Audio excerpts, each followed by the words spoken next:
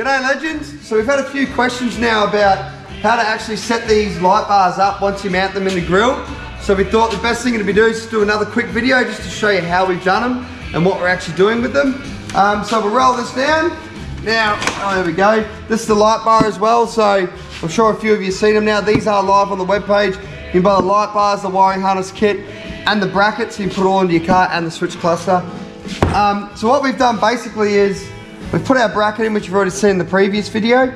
Then we've got three slots here. Now this extra slot in here, that was just in case you come up with another light bar, like we get a 10 inch or something from another brand that we could slot in here later on so no one had to buy a bracket again. But what we actually do is we mount them on these two here.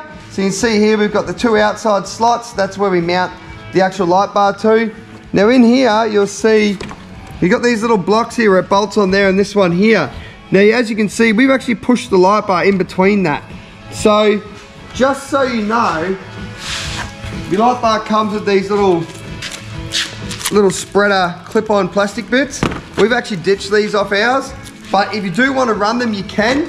You just can't run them on this end because on that far end, that just gets in the way unless you sort of trim these two tabs off to make it work, just with that little bit there. Now, when you need to align these up, so a few people have said that they point out to the side of the road. Now, to fix that, we've got to loosen both of these bolts here. So you see both these bolts, we back them off. Then we've just got to push it in or out like that and so on. This one here can actually come out to the fold. So you see the fold line, you can hang that over the fold with the washer and still do that up and actually get the adjustment you need. Now height-wise adjusting, you've got these two bolts here on the back. We want to we want to loosen these two off with a 10 mil. So those ones were 13 mils. These are a 10 mil. We loosen them off and we can adjust them up and down like so. Now, if you come over to the car, oh, take this over here. We'll do a quick mock up to show you. So we sit this on here. Quick little mock up. So if I'm trying to now set these up, I set it up here, I clip the bottom in, so the bottom's clipped in. I push it in on the headlights.